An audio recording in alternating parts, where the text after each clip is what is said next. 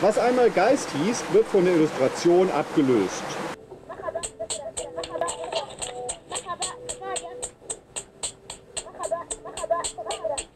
sagt Adorno und kritisiert damit die Entsinnlichung unseres Erlebens durch vorgebliche Bilder.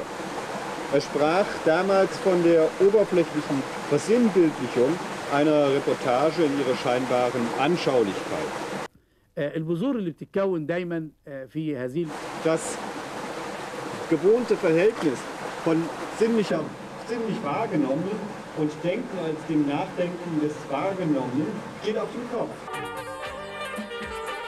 Das Gesehene, die illustrierte Statistik oder Reportage etwa eines Kriegsereignisses, ist bereits ein, ein Denkergebnis, das uns nunmehr präsentiert wird.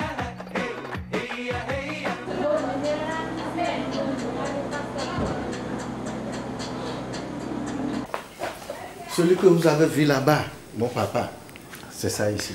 Ça. Ah, ok, j'ai compris. Voilà. Le vieux là, c'est là-bas, c'est chez lui qu'on a pris les fétiches pour venir au Togo. Il est au Kwando, au Ghana.